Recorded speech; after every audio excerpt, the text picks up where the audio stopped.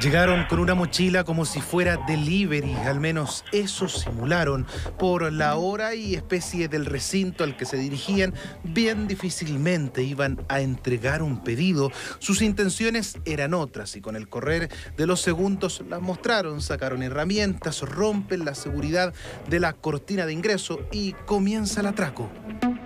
Una vez que llega personal de carabineros al lugar, se entrevista con el propietario, el cual eh, al proceder a revisar las cámaras de seguridad se pueden percatar que efectivamente tres individuos a rostro cubierto ingresan al interior del recinto mediante el uso de la fuerza y herramientas, forzando la cortina metálica que se encuentra al interior. El lugar escogido, como se dice, fue con pinzas, nada más y nada menos que una armería. Sí, escuchó bien, un lugar de venta de armas y municiones.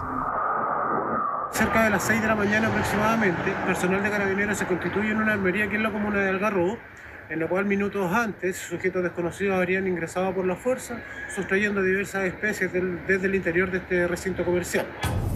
Lo que buscaban no era menor, quizá por las medidas de seguridad no pudieron acceder directamente a las armas de fuego, pero sí a las de aire comprimido. Se llevaron peligrosamente rifles y pistolas. Desde este local proceden a sustraer cuatro eh, rifles de aire comprimido y nueve pistolas de aire comprimido, entre otras especies también desde, desde este local comercial. Ante esta situación, actualmente personal de la CIP de Carabineros Algarrobo se encuentra trabajando con todos los medios de prueba levantados desde el sitio del suceso. Pero los sujetos iban organizados, fueron directo a los rifles, los apilaron y se los llevaron como si nada. Nosotros como carabineros hacemos el llamado a la ciudadanía para que cualquier información que mantengan respecto a este delito puntual nos hagan llegar esta información con la finalidad de poder recuperar estas especies sustraídas y evitar que anden circulando por las calles de nuestro país. Vecinos del sector dicen que los hechos delictuales han ido en aumento en la zona, muestran preocupación y a la vez piden más seguridad. Está siendo peligroso. ya hay robo, hay portonazos, está llegando la delincuencia, lamentablemente. Ahora último, esta que hubo acá en una armería, ahí me tiene un poquito asustada. Yo llegué hace poco, en diciembre, llegué a vivir al Garrobo. Yo estoy en un WhatsApp vecinal, entonces ahí ponen que entraron a robar aquí, que entraron a robar allá. Ahora, volviendo al robo, el ilícito ocurrió en un sector deshabitado, por ende, las penas no son altas.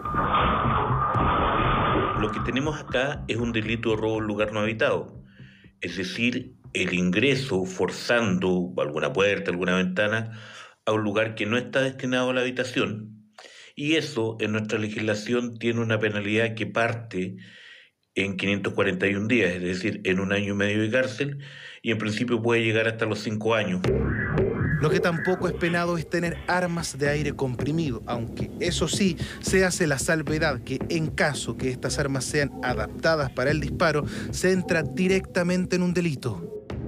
Al robarse solo eh, pistolas o rifles de aire comprimido, técnicamente no entramos en la esfera de la ley de control de armas. Obviamente, si estas armas son adaptadas para ser eh, usadas para disparar balas, para disparar algún tipo de munición, distinta a los balines que habitualmente ocupan, ahí sí entramos en las normas de eh, la ley de control de armas y sube bastante la pena. Por el momento se habría encontrado a un sujeto con una de las armas robadas, aunque no se acreditó su participación en el ilícito, un robo que causa preocupación en la zona, armas que están en manos de desconocidos y que podrían estar siendo comercializadas de manera ilegal.